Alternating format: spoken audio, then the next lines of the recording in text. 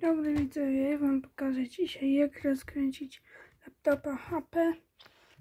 Tu macie tak, yy, śrubki z przodu raz i dwa.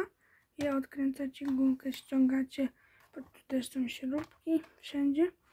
Z tyłu też gumkę ściągacie, bo też są śrubki. Yy, odczepiacie, obudowę sobie odstawiacie. Tu macie baterię wszystko. Coś wymieniacie, co wam nie pasuje. Jak USB nie działa, możecie wymienić. Tu jest HDMI. Yy, tutaj tak, pamięć jest.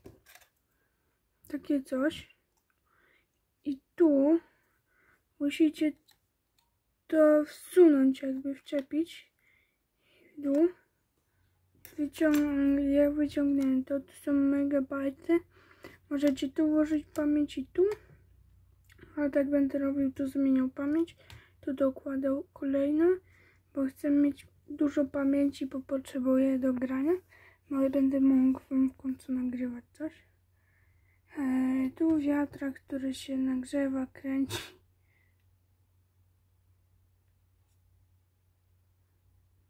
Bardzo szybko. No i tak no,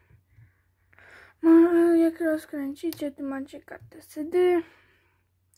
Wszystko tu wymienić możecie. Możecie to odkręcić, tu wszystko y, przeczyścić. Ja właśnie tą obudowę będę czyścił.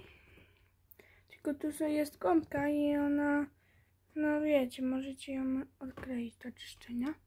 Ja mam tak brudno, że mi się przydałoby wyczyścić. No ale wiecie, to z czasem.